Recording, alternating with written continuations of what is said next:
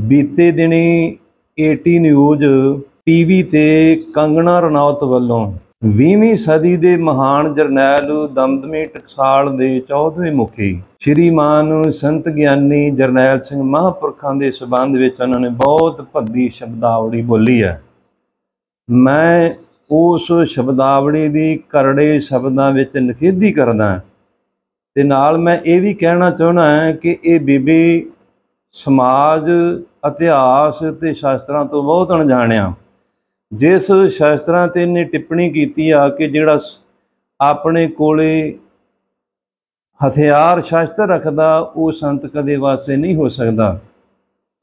ਬੀਬੀ ਹਿੰਦੂ ਮਤ ਦਾ ਇਤਿਹਾਸ ਆ। ਸ਼ਿਵ ਜੀ ਭਗਵਾਨ ਨੂੰ ਤੁਸੀਂ ਆਪਣਾ ਸਭ ਤੋਂ ਵੱਡਾ ਦੇਵਤਾ ਮੰਨਦੇ ਆ।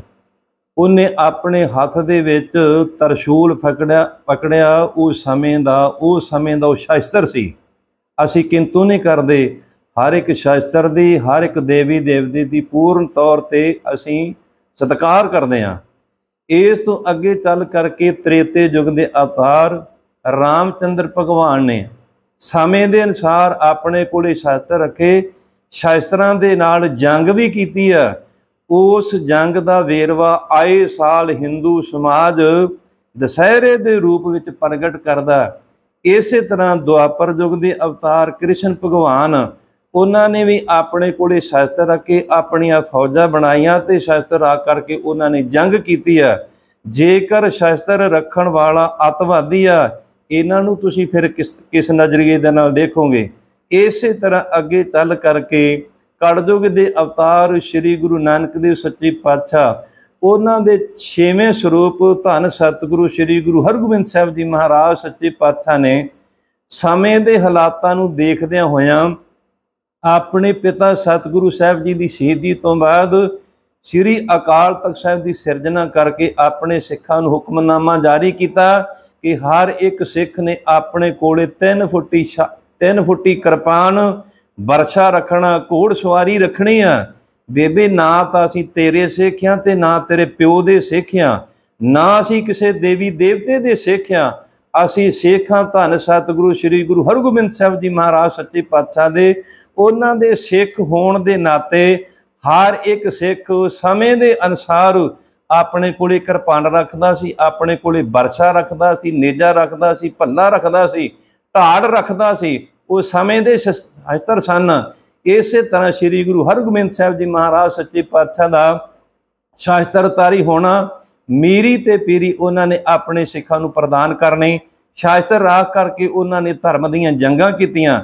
ਜੇਕਰ ਤੁਹਾਡੇ ਦੇਵੀ ਦੇਵਤਿਆਂ ਨੇ ਧਰਮ ਦੀਆਂ ਜੰਗਾਂ ਕੀਤੀਆਂ, ਇਸੇ ਤਰ੍ਹਾਂ ਸ੍ਰੀ ਗੁਰੂ ਹਰਗੋਬਿੰਦ ਸਾਹਿਬ ਜੀ ਮਹਾਰਾਜ ਸੱਚੇ ਪਾਤਸ਼ਾਹ ਨੇ ਆਪਣੇ ਸਮੇਂ ਅਨੁਸਾਰ ਮੁਗਲੀਆ ਸਰਕਾਰ ਦੇ ਨਾਲ ਚਾਰ ਜੰਗਾਂ ਕੀਤੀਆਂ ਤੇ ਚਾਰਾਂ ਜੰਗਾਂ ਦੇ ਵਿੱਚ ਜਿੱਤ ਪ੍ਰਾਪਤ ਕੀਤੀ ਹੈ ਇਸ ਤੋਂ ਅੱਗੇ ਚੱਲ ਕਰਕੇ ਤਾਂ ਸਤਿਗੁਰੂ ਸ੍ਰੀ ਗੁਰੂ ਗੋਬਿੰਦ ਸਿੰਘ ਸਾਹਿਬ ਜੀ ਮਹਾਰਾਜ ਸੱਚੇ ਪਾਤਸ਼ਾਹ ਨੇ 14 ਜੰਗਾਂ ਆਪਣੇ ਨਿੱਜੀ ਸਵਾਰਥ ਵਾਸਤੇ ਨਹੀਂ, ਧਰਮ ਦੀਆਂ 14 ਜੰਗਾਂ ਲੜੀਆਂ ਤੇ 14 ਜੰਗਾਂ ਦੇ ਵਿੱਚ ਉਹਨਾਂ ਨੇ ਜਿੱਤ ਪ੍ਰਾਪਤ ਕੀਤੀ ਆ।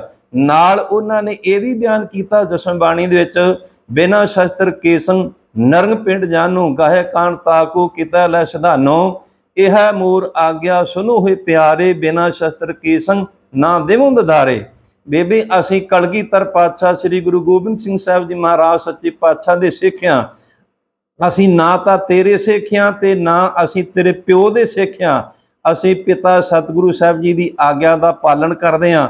ਜਿਸ ਸੰਤ ਮਹਾਨ ਸ਼ਖਸੀਅਤ ਤੇ ਤੂੰ ਟਿੱਪਣੀ ਕੀਤੀ ਆ, ਉਹ ਦਮਦਮੀ ਟਕਸਾਲ ਦੇ 14ਵੇਂ ਮੁਖੀ ਆ। ਅੱਜ ਵੀ ਅਸੀਂ ਐਲਾਨ ਕਰਦੇ ਆ ਤੁਹਾਨੂੰ ਚੈਲੰਜ ਕਰਦੇ ਆ ਤੁਸੀਂ ਉਹਨਾਂ ਨੂੰ ਆਤਵਾਦੀ ਕਿਹਾ, ਉਹ ਆਤਵਾਦੀ ਨਹੀਂ ਸੀ। ਸਿੱਖ ਸੰਤ ਵੀ ਆ ਤੇ ਸਿੱਖ ਜਰਨੈਲ ਵੀ ਆ ਤੇ ਸਿੱਖ ਸਿਪਾਹੀ ਵੀ ਆ। ਉਹ ਇੱਕ ਸੰਤ ਵੀ ਆ, ਉਹ ਜਰਨੈਲ ਵੀ ਆ, ਉਹ ਸਿਪਾਹੀ ਵੀ ਆ। ਉਹਨਾਂ ਨੇ ਆਪਣੇ ਧਰਮ ਨੂੰ ਪੈੜ ਦੇ ਆਧਾਰ ਤੇ ਰੱਖਦਿਆਂ ਹਿੰਦੁਸਤਾਨ ਦੀ ਆਰਮੀ ਦੇ ਨਾਲ ਉਹਨਾਂ ਨੇ ਜੰਗ ਕੀਤੀ ਆ। ਨਿੱਜੀ ਜੰਗ ਉਹਨਾਂ ਨੇ ਨਹੀਂ ਲੜੀ।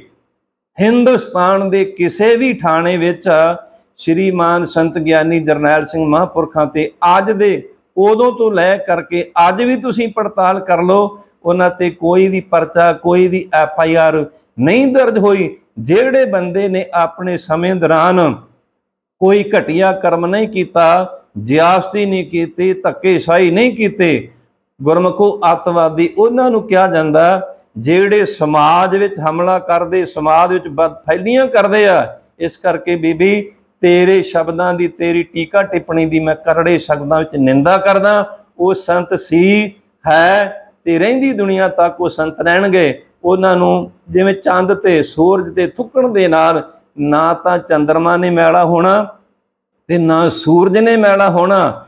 ਤੋ ਕਹਿੰਦੇ ਕਿ 99% ਲੋਕ ਉਹਨਾਂ ਨੂੰ ਆਤਮਾਦੀ ਮੰਨਦੇ ਨਹੀਂ।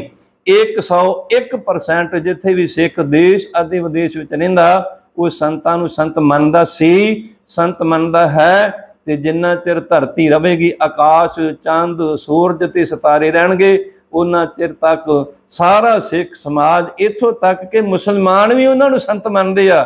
ਕਈ ਜਿਹੜੇ ਹਿੰਦੂ ਵੀਰ ਆ, ਉਹ ਵੀ ਉਹਨਾਂ ਨੂੰ ਸੰਤ ਮੰਨਦੇ ਆ। ਰਾਜਨੀਤਿਕ ਵੀ ਸੰਤ ਮੰਨਦੇ ਆ। ਕਈ ਸਮਾਜਵਾਦੀ ਲੋਕ ਵੀ ਸੰਤ ਮੰਨਦੇ ਆ।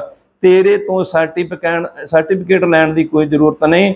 ਉਹ ਸਿੱਖ ਧਰਮ ਦੇ 20ਵੀਂ ਸਦੀ ਦੇ ਮਹਾਨ ਜਰਨਲ, ਜਰਨੈਲ ਹਨ। ਰਹਿਣਗੇ, ਦੁਨੀਆ ਤੱਕ ਰਹਿਣਗੇ। ਉਹ ਸੰਤ ਵੀ ਸੀ, ਉਹ ਦੀਵਾਨ ਸੀ, ਉਹ ਜਰਨੈਲ ਸੀ। ਇਸ ਕਰਕੇ ਬੇਬੇ, ਬੋਲਣ ਤੋਂ ਪਹਿਲਾਂ ਸਮਾਜ ਦੀ ਜਾਣਕਾਰੀ, ਸ਼ਾਸਤਰਾਂ ਦੀ ਜਾਣਕਾਰੀ ਲੈਣੀ ਜ਼ਰੂਰੀ ਆ। ਜੇਕਰ ਸੰਤ ਗਿਆਨੀ ਜਰਨੈਲ ਸਿੰਘ ਅਤਵਾਦੀ ਆ, ਕ੍ਰਿਸ਼ਨ ਭਗਵਾਨ ਨੂੰ ਕੀ ਕਹੋਗੇ? ਇਸੇ ਤਰ੍ਹਾਂ ਰਾਮਚੰਦਰ ਤੇ ਲక్ష్మణ ਨੂੰ ਕੀ ਕਹੋਗੇ? ਇਸੇ ਤਰ੍ਹਾਂ ਸ਼ਿਵਜੀ ਭਗਵਾਨ ਨੂੰ ਕੀ ਕਰੋਗੇ? ਸਮੇਂ-ਸਮੇਂ ਅਨਸਾਰ ਅਵਤਾਰੀ ਲੋਕ, ਸੰਤ ਮਹਾਤਮਾ ਲੋਕ ਆਪਣੇ ਪਾਸ ਸ਼ਸਤਰ ਰੱਖਦੇ ਸਨ। ਆਪਣੇ ਅਤੇ ਪਰਜਾ ਦੀ ਰਖਵਾਲੀ ਵਾਸਤੇ ਇਸ ਕਰਕੇ ਸਿੱਖ ਦਾ ਧਰਮ ਹੈ ਸ਼ਸਤਰ ਧਾਰੀ ਹੋਣਾ ਤੇ ਸ਼ਸਤਰ ਧਾਰੀ ਹੋ ਕਰਕੇ ਆਪਣੇ ਸਮਾਜ ਦੀ ਰੱਖਿਆ ਕਰਨੀ। ਤੇਰੇ ਵਰਗੀਆਂ ਬੀਬੀਆਂ ਗਲਤ ਬਿਆਨ ਬਾਜੀ ਦੇ ਕਰਕੇ ਸਮਾਜ ਵਿੱਚ ਬਖੇੜਾ ਕਰਦੀਆਂ ਨੇ, ਮੈਂ ਆਪਣੇ ਵੱਲੋਂ ਸਾਰੀਆਂ ਸਮਾਜਵਾਦੀ ਜਥੇਬੰਦੀਆਂ ਨੂੰ, ਸੰਗਤਾਂ ਨੂੰ ਬੇਨਤੀ ਕਰਦਾ ਕਿ ਜਿਹੜੇ ਇਹੋ ਜਿਹੇ ਲੋਕ ਟੀਕਾ ਟਿੱਪਣੀ ਕਰਕੇ ਸਮਾਜ ਵਿੱਚ ਵਿਖੇੜਾ ਪੈਦਾ ਕਰਦੇ ਆ, ਉਹਨਾਂ ਤੋਂ ਆਪਾਂ ਸਦਾ ਵਾਸਤੇ ਸਾਵਧਾਨ ਰਹੀ